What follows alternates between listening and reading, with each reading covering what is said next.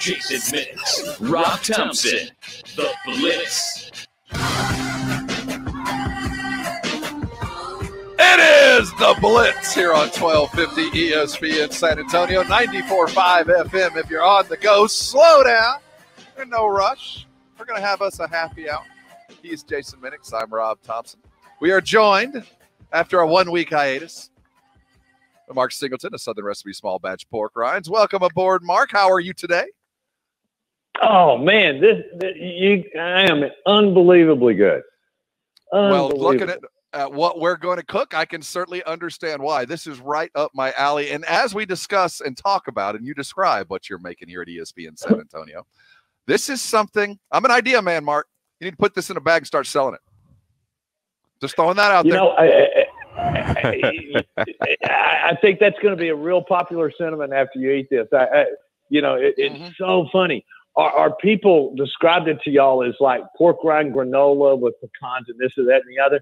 And I saw that and I said, "Oh my gosh, Robin, Jason aren't going to know what the heck I'm talking about. This is meat candy, guys. We are making meat candy tonight. It, this is this is going to be one of your favorite recipes, and we figured out a way to make it without sugar and uh, and with some great pecans. All right, so so meat candy. you- We we were texting earlier, and you and, and talking, and, and you called it uh, pork rind popcorn. So pork rind popcorn, meat candy. I mean, all of it's going to sound great on, on in, in a bag somewhere. But but what are we doing? How do how do we make this? So, you know, as usual, most of the recipes that we talk about are absolutely mark proof. This one requires a little bit of attention because all we're going to do is we're going to take a bag of our pineapple ancho pork rinds and open it up and put it in a stainless steel container. Literally, literally, we're going to take six teaspoons of, in this case, I used uh, stevia, monk fruit, um, got you. and then I Uh, used an a stick of artificial sweetener of sorts. Uh, can it be any Yeah, artificial we're- we're sweetener, to or just stevia is the best one? you know, I like monk fruit um, because it has zero calories. It's really low in carbs, um, you know, and it cooks up well. But Okay. if you want to go a little higher, I, I do a one with a cavi and a little tequila like this. You Oh, know, tease uh, Mark. if, if you're if you're just going to cheat a little, uh, a, a, a, a, a tequila sunrise pork rind. I, I promise, Rob, it's worth doing. So anyway, so we take the stick of butter. Remember, we take a stick of butter. We take six teaspoons of of, of, of stevia, and, and we put it on the stove. And and I, and I, James, uh, you've got some pictures there. And what you've got to do with that is you're kind of making candy here. So you're going to heat that pretty hot, and you're going to whisk it the whole time. So this is not something that you can walk away from, get distracted, and you're you're whisking that sugar, and you're going to do that for about well till you bring it to a boil. Put it down on simmer. Continue to to to to, to watch it uh, for about five minutes, and then it gets really easy. You dump in the vanilla. In my case, I dumped in a little vanilla, and then I wanted my pecan and my glaze to have some more ancho. So I took a, a like a quarter teaspoon of ancho chili. You can see the pictures up there, and dumped it in there. And then you put the pecans in, and once again, you're continually stirring this. All in all, it takes about 10 minutes. And you continually stirring it. It gets kind of hot, kind of gooey, and you pour it over the pork rinds. Oh, there, there's a great picture of it in, in the bowl. You know, you're kind of making pecan candy, and then you pour it over the pork rinds, stir it, stir it, put it out on some parchment paper, guys. And I am not kidding you. This has got everything you want in a snack. It's sweet, it's hot, it's crunchy, it's bacony, it's got pecans.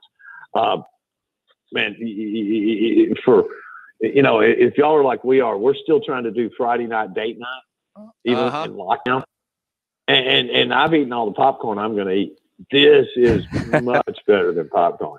Now, I mean, when, it- uh, you know, it- it- Mark, when, when I've tried to do something like this, precision is not something that's often mentioned in my name when when, when we're paired together. I'm not a precise guy. Do when I'm making when I'm heating the the, uh, the mixture up that's going to be used as a glaze. I mean, how precise do I need to be? Do I need a thermometer or anything, or am I going to eyeball this? How exactly am I going to know when? Okay, No, the, you know, you, you you know, of course I've got a candy thermometer, Rob, but you know that's kind of the way I roll. I, I, I, if there's equipment to be bought, it adds to the of course. brother.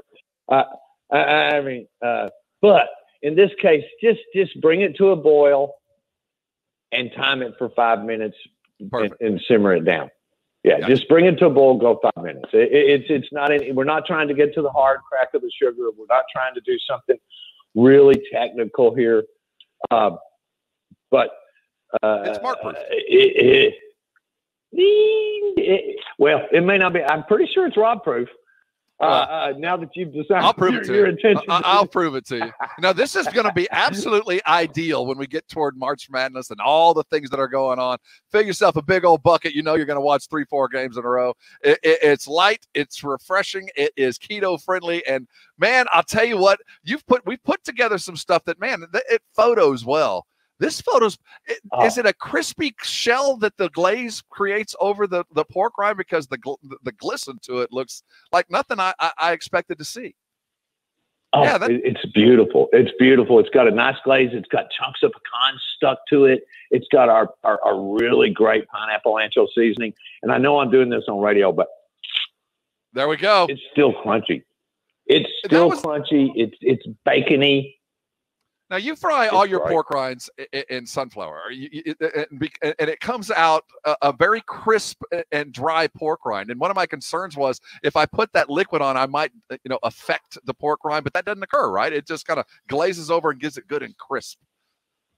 It changes it again, Rob. I mean, I mean, you know, it's like when when fat hits fire, like a thousand new compounds are made. Well, when this hot sugar hits the pork rind, we're doing something altogether again. You know, that, that, that glaze is becoming something that I've really never tasted before. Jason kids around uh, about making it commercially, but I think about that all the time. I just can't figure out how to do it. One other thing I think it's sounds really good. fantastic is the pasilla chili that goes that pepper that goes along with the sugar. That is a great flavor to throw together with your pork rind too. It's a very unique kind of profile that has a little bit of an Asian feel to it, but man, it doesn't get any better. That one chip leads to another. I'll tell you, it is, it's good. eating. Oh. Oh, and, well, this is the pineapple ancho. So you've already got that pineapple, That- and then and you're throwing bite. a pecan. yeah, and then that sweet heat. And you know, there's just something about sweet heat.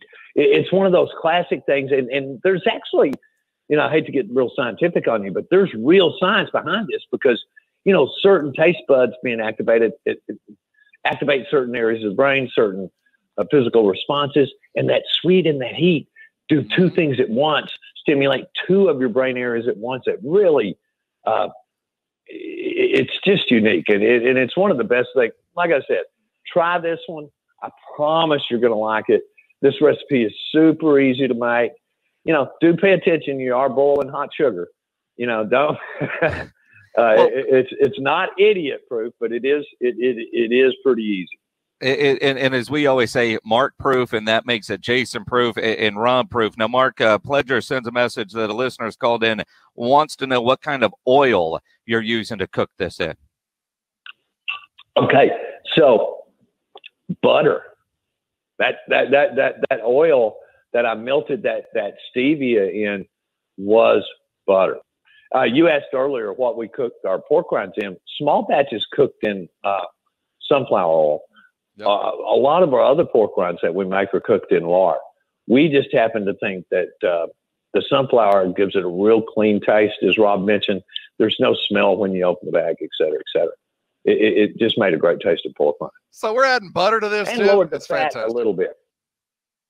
Yeah. Yeah, it- Fat is like flavor. I said, this is going to be the biggest surprise you guys ever make. It's a, it's a, you know, the rest of the stuff kind of makes sense.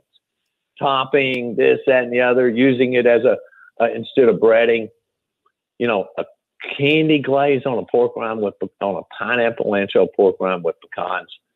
It, it, it, this is going to knock your socks out. It- like Wow. I said, it's meat candy. You're going to love it. Meat candy, pork rind, popcorn. uh, You know, with all the college basketball, we're all going to be sitting and watching over the the next month or so with the uh, tournaments, uh, the the conference tournaments, and then of course the NCAA tournament. This is going to be perfect. It's a great snack. Family Yeah, I- gatherings. I- I, I can can't see wait. this on my Christmas tables. I can see this when everybody's around when we're all hanging out and doing what we do. I can see big bowls of the Southern pork right now. It Oh. says on when you go to southernrecipesmallbatch.com for the recipe, it says sweet pork rind granola. We're just calling it meat popcorn. You call it whatever you like, but just go make it because it looks absolutely fantastic. Mark, uh, once again, I am astounded and amazed, and I'm hungry uh, with the Southern Recipe Small Batch. Head over to HEB, pick up your pork rinds, cook them this way. Head over to the website, Southern Recipe Small Batch Pork Rinds.com. It's been a culinary happy hour, and we're just beginning. Mark, uh, thanks for stopping by, man. Hey guys, y'all have a great week. I'm so looking forward to the big end. I mean, uh, you know, this this is this is when our year gets back to normal. Let's watch some It's basketball. feeling that guys. way. It's going to be absolutely bonkers improved on with Southern Recipe Small Batch Pork Rinds. Go get your sweet pork rind granola made and call it popcorn, but just call it and make it. We'll do it again next week. Southern Recipe Small Batch Pork Rinds. Head over to HEB, fill your cupboard because it's good for you. It's keto friendly and it is wonderful.